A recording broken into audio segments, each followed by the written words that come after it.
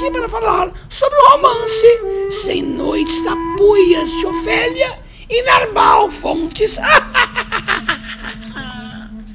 Pode deixar, dona Cuca, eu mesmo conto. Sou Quincas Venâncio, um garimpeiro lá dos sertões de Mato Grosso. Moro com meu filho Quinquim e trabalho no Rio Pochorel. Quinquim? Sou eu, dona Cuca. E você, Quinquim? Veio falar de quem?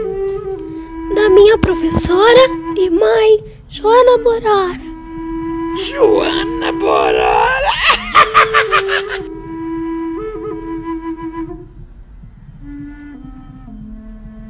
Sou eu, dona Cuca, uma professora bugra que ensina crianças brancas. Eu sempre levava meu filho comigo para o garimpo. Queria alegrar-lhe, porque ele chorava todas as noites, sentia falta de sua mãe, que perdera aos seis anos. Ele contava lendas e histórias tapuias.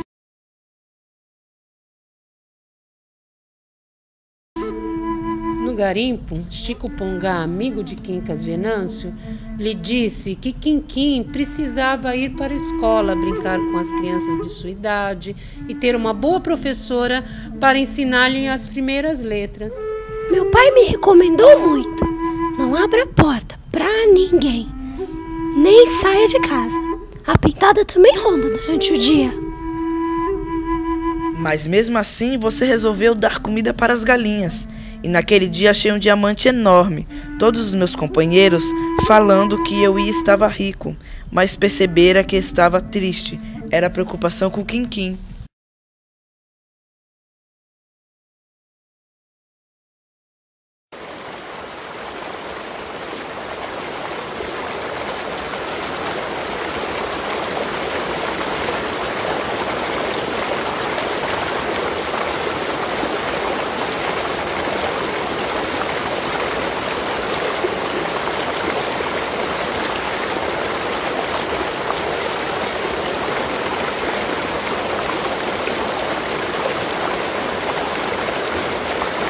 Achei!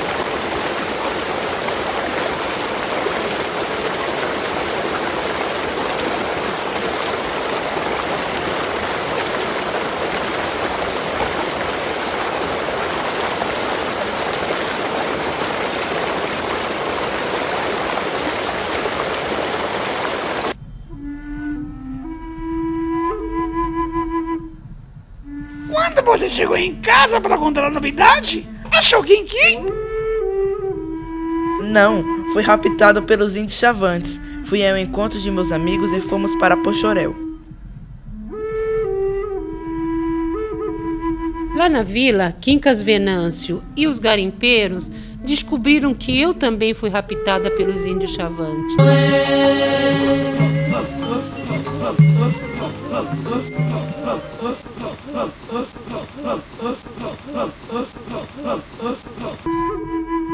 Antoninho, um de seus alunos, contou como a professora se sacrificou para salvar seus alunos correndo em direção aos índios, enquanto as crianças corriam para pedir ajuda. Eu e meus amigos garimpeiros e todos os homens de Pochorel partimos para procurar Joana Borora e Quinquim.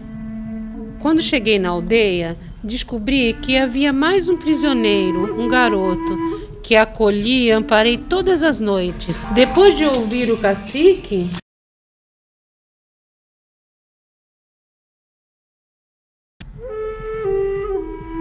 É isso mesmo. Eu falei para os meus guerreiros que se o menino branco gritasse, era para calar a boca dele.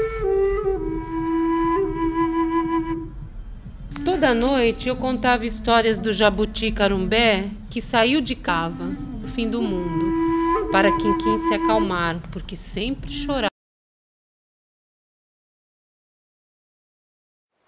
Curumbé é um jabuti que sai de sua casa à procura do fim do mundo. No caminho, dentro do rio, cai uma tempestade e nisso ela se perde e vai parar no leito de um rio. Lá ela encontra uma cobra e essa cobra acaba se tornando sua amiga e lhe dá um conselho que para ir para o fim do mundo basta apenas seguir o curso do rio. Tartaruga procura, procura, mas mesmo assim, por um belo encontra,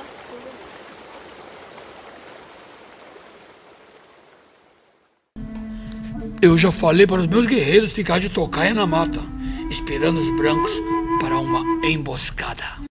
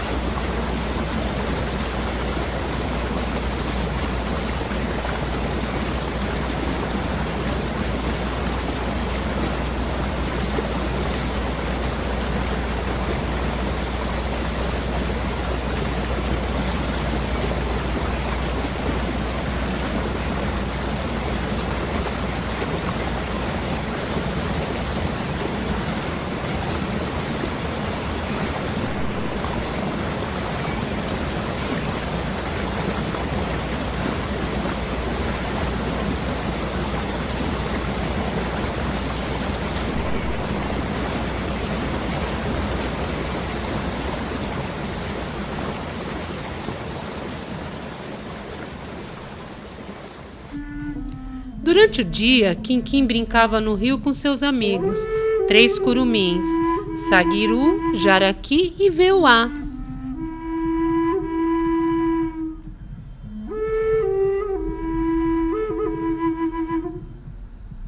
Este é meu cachorro Janaiu, e a Joana Borora salvou ele dos espinhos. Eu sou o Sagiru. É mesmo, Joana Borora. É muito boazinha. Au, au, au.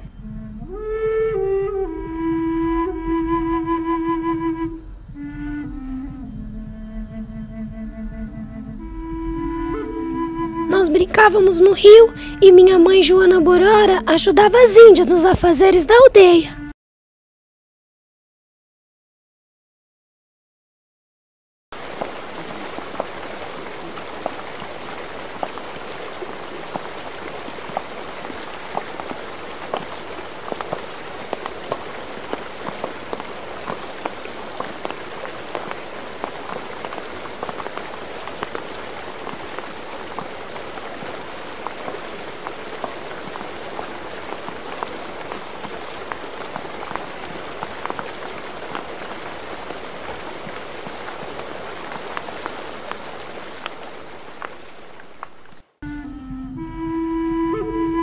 Quando de repente achei com as crianças uma purunga, onde escrevi com um espinho uma mensagem para os brancos, avisando sobre o local da emboscada e lancei ao rio. Deus te guie, Purunga abençoada.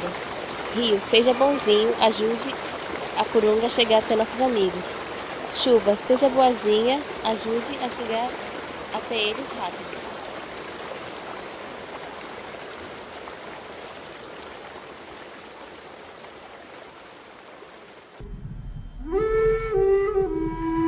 Assim se passaram. Cem noites tapuias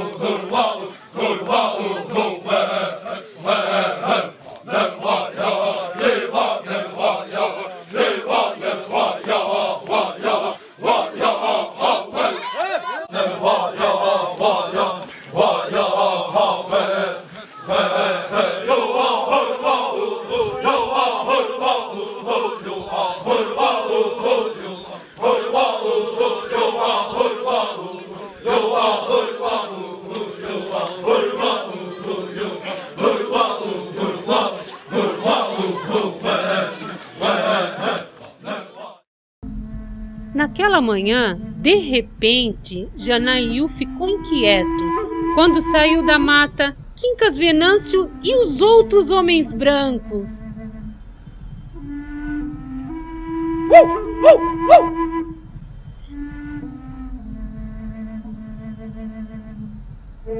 Quando vi meu pai, saí correndo em sua direção para abraçá-lo. Pedi aos cavaleiros que guardassem suas armas, pois só tinham mulheres e crianças na aldeia.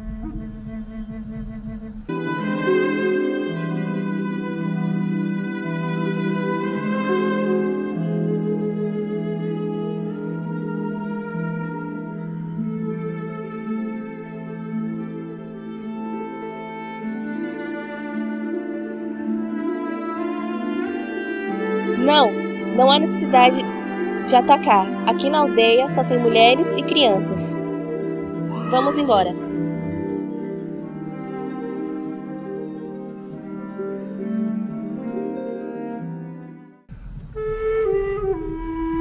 Chico Pongá, ao avistar a Purunga, que voltou pelo rio, pegou-a para guardar de recordação porque a mensagem dela salvou a vida de todos.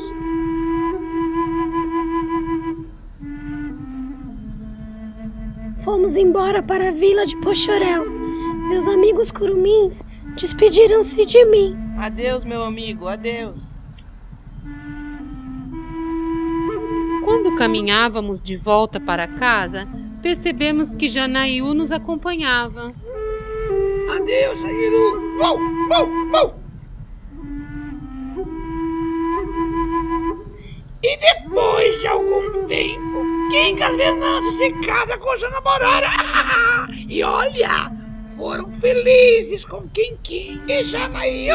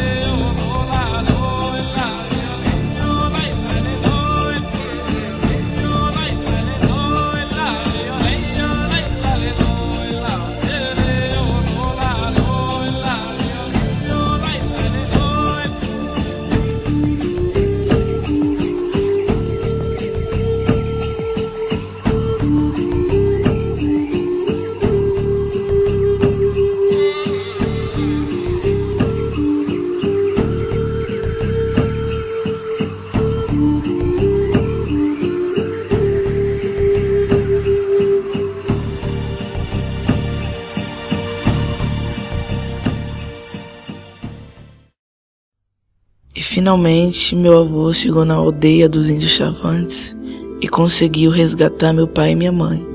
E os dois juntos me criaram. E foi assim.